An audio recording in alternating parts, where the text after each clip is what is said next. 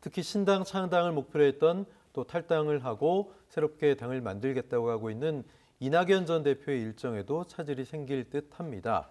창당 시기를 하순께로 늦추는 방안을 검토하고 있다. 뭐 이런 얘기들이 나오고 있고 뭐 대표적인 친명계죠. 안민석 의원 또 이준석 전 대표는 이번 사태로 아예 신당 창당이 이낙연 대표 불가능할 거다 이렇게 보고 있는데 이종 평론가께서는 엔진을 끌 거라고 보세요? 아니면 잠시 브레이크만 밟은 거라고 보세요? 뭐 당장 꺼지기 하겠습니까? 네. 그러니까 여전히 이제 뭐 친명공천이라고 하는 것은 예. 제가 보건대는 예정대로 진행될 가능성이 높고 음.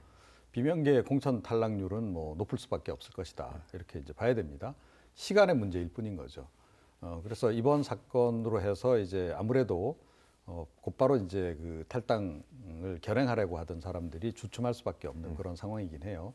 그렇다고 해서 그걸 무한정 늦추기도 좀 어려울 거다라고 생각합니다. 왜냐하면 뭐 탈당을 해서 뭐 선택을 해서 빨리 뭐 신당을 창당하든지 아니면 뭐 다른 신당에 이제 입당을 하든지 해서 뭐 공천도 받고 이런 과정들이 좀 필요하잖아요.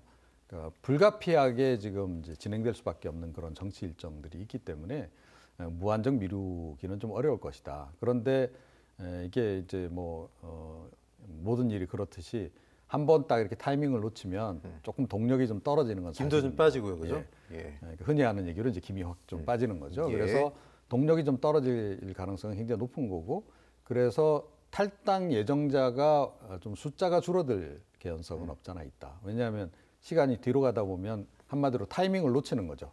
탈당 타이밍이나 이런 걸 좀 놓치다 보면 그냥 어쩔 수 없이 주저앉게 되는 그런 경우가 좀 더 늘어날 가능성은 좀 높아졌다 이렇게 생각합니다. 네.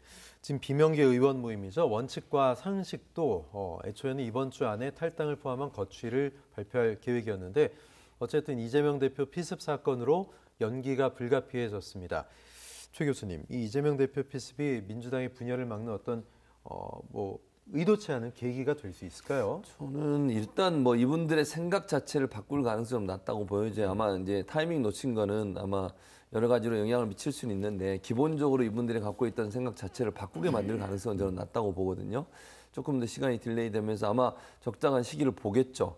어, 그리고 이제 한 가지 약간 이제 고민이 되는 지점이라고 제가 생각하는 부분은 이재명 대표의 건강 회복이라고 생각해요. 그 속도가 어느 정도냐는 대단히 이 사람들한테 중요하게 여겨질 거라고 봅니다. 왜냐하면 어, 이제 만약 이재명 대표의 건강이 조금 빨리 어, 회복이 돼서 어, 복귀를 하게 되면 사실 이제 공천 과정 이런 부분에서 이재명 대표 중심으로 어, 당이 운영되면서 진행되지 않겠어요?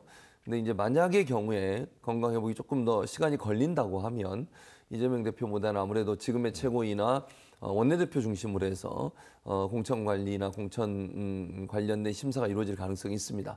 그렇다고 이 사람 이분들 입장에서는 그런 상황에서는 한번 좀 기다리면서 도전해 볼 수 있는 기회도 가질 수 있다고 보여지거든요. 그래서 이 부분이 아마 고려 사항은 되겠지만 기본적으로 생각 자체를 바꾸는 데 영향을 미칠 정도의 요소는 아닐 것이다.